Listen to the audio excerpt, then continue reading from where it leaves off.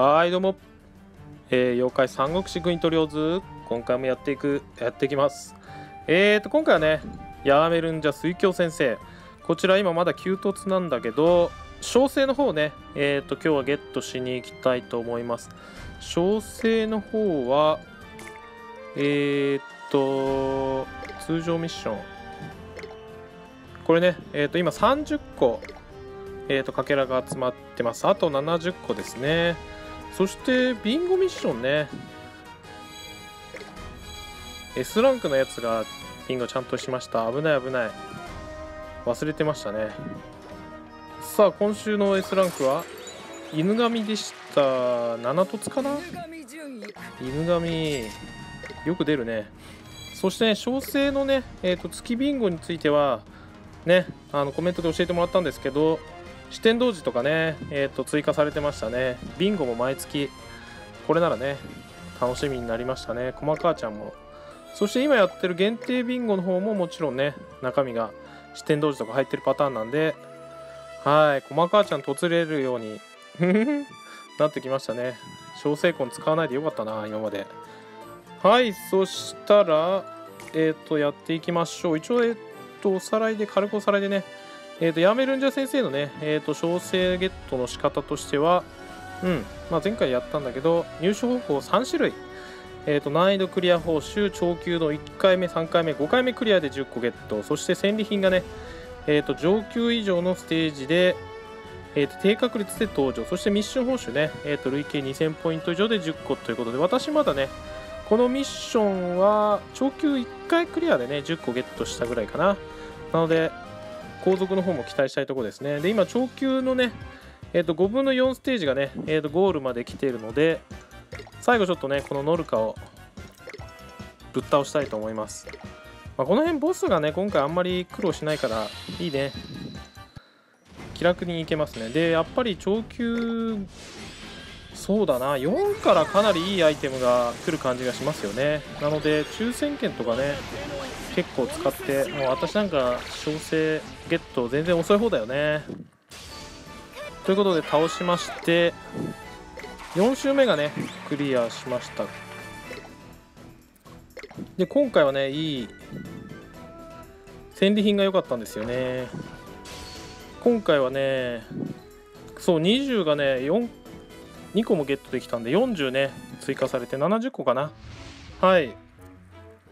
それなんでまたねえっ、と5をクリアしていきましょう。あ確定しちゃった。中身を見ないで確定してしまった。せっかく貴重な長級5なのに。うーんさっきみたいに20が2個もないけどまあ5があるからいいかって感じですね。まあとりあえず1回これやっちゃいましょう。うん。なんか20が2回あったりねするとかなりいい感じですね。うわリンネがいるねもう国取りの防衛と同じだよねまあとりあえずこれでえっ、ー、と、長級後3回クリアになるんで、これでさらに、えっ、ー、と、10個ゲットになるかな。あ、リンネぶつかりで倒すの忘れたね。まあ、いっか。なんかたまに強いのいるよね。まあ、歯茎さんがいればリンネをね、ぶつかりで倒せる。さあ、なんとかクリアをしてね、いきましょう。まあ、かけら1個のところはまあ無視していく感じかな。よいしょ。さあかけらゾーン。5 OK 無難に1個ゲットですね。そして5のところがあるので12333のサイコロあった。いけ。いいですね。本当は20の時に行きたいけどね。まあいいや。なんかあと小生小生の証も落ちるんあじゃないじゃないえっと小生やめるんじゃ先生の小成功も落ちるらしいんだよね。長級後だよね。あやべ。ターン減っちゃった。まあ最悪ね。えっ、と宝珠使いましょう。まあ、いつものイベントに比べたら宝珠全然使わないでこんなにクリアできちゃっていいのかしらって思っちゃうんだけどね。2000ポイントゲットだ。9000次にかけらがベストスコア更新。あさあこのかけらはまあいいかな。という感じでかけらがどんどんいっぱいあるよね。さあベストスコア更新どんどんスコア更新していきましょう。残りターンがこれで増えました。あと7ターンで207ターンで20なら5ぐらい。お6が出た。あ6やばくねえか。12345うー。あ待って。1234 4が4はない。残念4 5歳使うか。4 5歳4出ろ。6出た。残念4 5歳っていうと解除を思い出したよな。さあ残り3ターン。ちょっとかけらがない。5個しかゲットできなかった。あ5個ゲットしないな。あ5個ゲットしたか。6個かな。という感じでもう1回上級1周すればクリアできそうな感じがしますかね。うん。ただこれをクリアするとえー、っと多分10個もらえると思うんでかけらがね。もう近づいてきましたね。いやほんとずっと小生ゲットできなかったから運営の方もいいタイミングでやってきやがったなって感じであやべえ。あでも残りターン増えた。さあ2ターン増えたんでできたらねランダムのとこ当たってほしかったけどね。まあいいか。あれ？ゼロに減少。それはいかん。打ち消そう。本当はこのランダム効果ね。小生魂とかちょっとバトルしてみたかったけどね。ちょっと抽選するの忘れちゃった今回。さあ最後じゃあやめるんじゃ先生やって終わりにしましょう。2このやめるんじゃ先生超弱いから全然大丈夫だね。さあ。風が苦手なヤーメルジャ先生。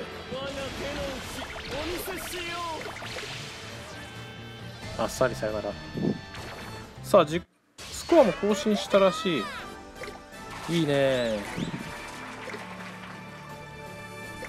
ランク上がった？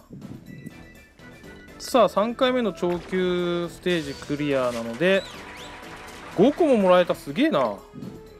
そして6あれ？あまだだったか。2回目だったか。はいという感じでクリア回数あれか。長級はまだ。あもう4回なのか。じゃあ次5回目でね。はい。えーとゲットしてみにしに行きたいなと思います。一応今かけら。すごいね。衝突書がいっぱいあるけどまだねやめるんじゃ先生。76個。あと34個ですね。はい。じゃあちょっとまたやっていきましょう。はいそしたらねまた長級の5ステージ目まで来たんでねやっていきましょう。今回もうんステージ4と5はやっぱりいいステージになってんな。まだね小成婚は見たことないんだよな。あなんかあるらしいね。もうなんかでもね専用サイコロがどっか行っちゃったんだよな。おラッキー。早速1個ゲット。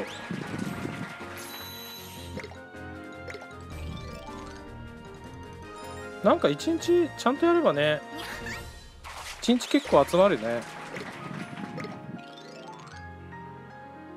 ちょっとまあ宝珠使ってもちょっとしか使わないからね。まあいつものあのー、あれに比べれば全然使わないからね。いつものイベントに比べればね。さあ行きましょう。よいしょ。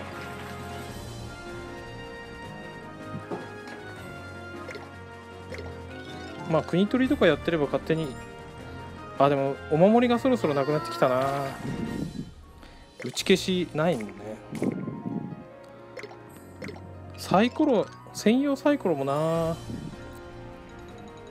なんか変な時にボタン押しちゃってね間違えて押しちゃって使ってないんだよね。さあやばい。バック地獄？なんかやばいエリアだね。やばいエリアどうしようかな。この辺でなんかやばいエリアはねサイコロ2つぐらいで乗り越えたいんだけど。次。どうなんだろうな。ちょっと早く使いすぎた。サイコロ2つ。ああなんとか乗り切った。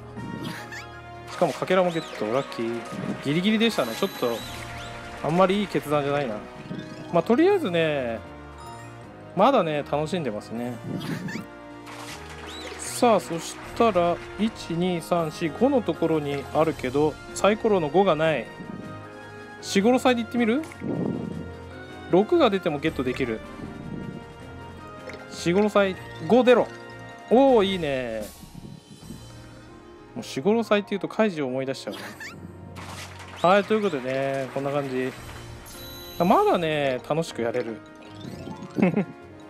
おおなんか大量じゃな。大量じゃなだって。さあ残りターンわずか。やばいな。あと3ターンしかない。うん。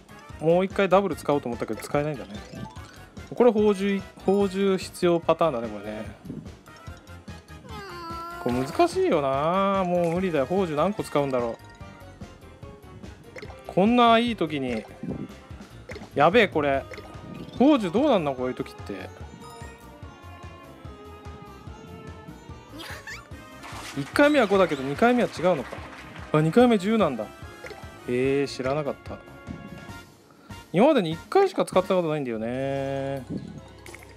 これでもまだ全然ゴールできないもんね。ちょっと待って6とかにしちゃったらどうなの ?12345 か6にしよう。まあ6使うよりは宝珠でも宝珠もあんま使いたくないな。これで1個増えてね。これでいけんじゃないの？おおよかった。という感じであそうなんだ。宝珠って2回目は10宝珠も取る取るんだね。はいという感じで。なるほど。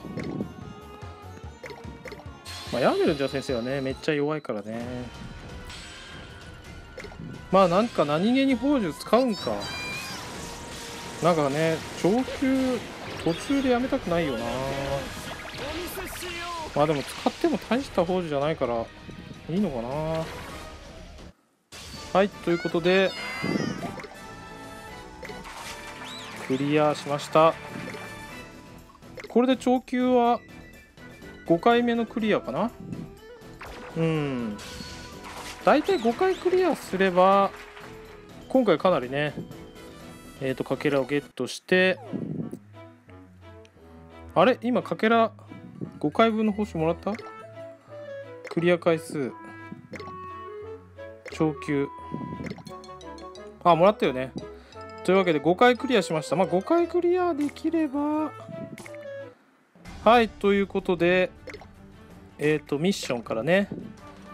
えっ、と通常ミッションで。はいありますね。100個。ということで久しぶりにゲットだぜ。小生の流玉やめるんじゃ水京先生。そして合成ですよ。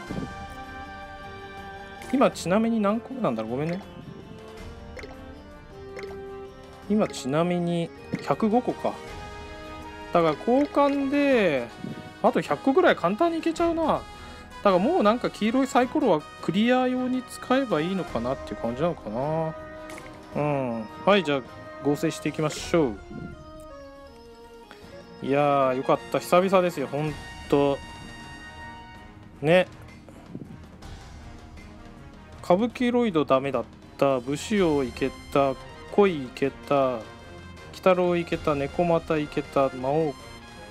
魔王空なきいけた。魔天か。ミストシャドウいけた。そして極土ダメ。カイラダメ。ベッティさんダメときて。あれ？あれどこにいるの？上か。いました。やめるんじゃ先生ね。はい。竜玉ゲットしたので合成していきましょう。お金。久々にお金が使える。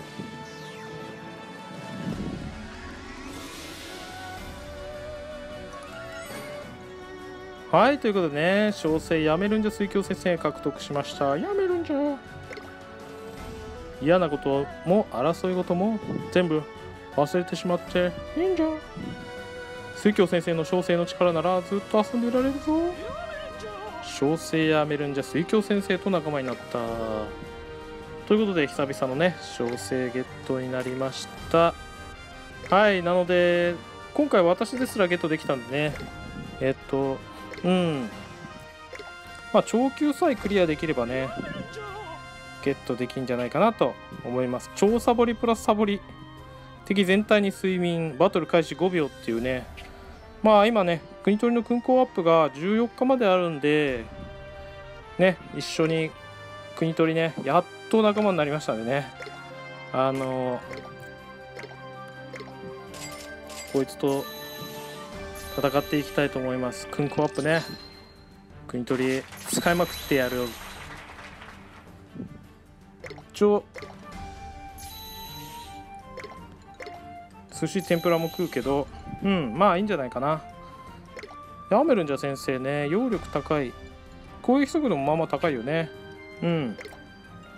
洗剤がサボり打ち消し超サボり打ち消し。これが80%稼働がちゃんとレベル上げないとダメなんだね。超サボり打ち消しが今後多分ねイベントで活躍することあるんじゃないかな。超サボりのボスとか結構出てくるしね。うんなのでまあサボりのボスが来た時にやめるんじゃ先生っていう感じで忘れずに。睡眠もね今後でも睡眠反射されてどうなんだろうね。睡眠。でも睡眠5秒ってことはさ7秒群マシンとかまあその辺3秒群マシンを5秒とか6秒で発動させれば一気にねボワーンって感じで倒せるとかねあるかもしれないので。まあ正直今回ねすごろくイベントは非常にボーナスイベントみたいな感じでねやってくれたんではい。あとはえー、っとヤーメルンジャ先生ね急突なのよ。でえー、っと超限界突破の書はね急突してるからまだできなくてもうエスコンでもいいかなとも思ってんだけどね。11個も書があるので280ミニもあるんでね。これ超10突させたらさらにねえー、っとまたうん。えー、ゲットできるのでヤンベルンジャー先生できたらね3突できたらいいなと思います。あとそういえば小成婚もねなんかゲットできるみたいなんで今後黄色いサイコロとかはねそういうのに使ってみたいなと思います。初級やろうかな。エスコン無難にゲットして。という感じでね。一応このクリア回数ね。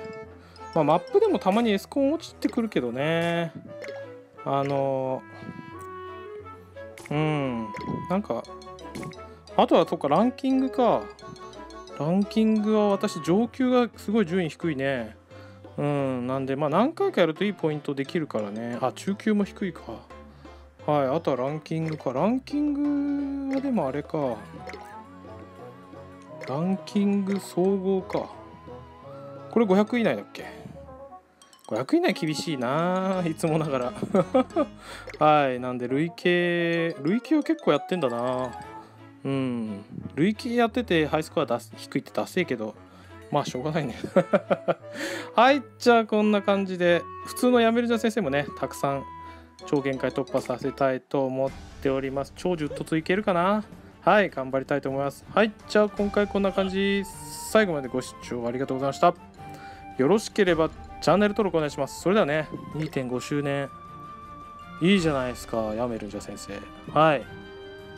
またね、なんかいい、いい情報があったらね、よろしければコメントなどで教えてください。ガシャチケットたまったらね、イケメン犬もガシャね、夏気がいいのでガシャやりたいと思います。はい、じゃあそれではまた次の動画でお会いしましょう。さよなら、バイバイ。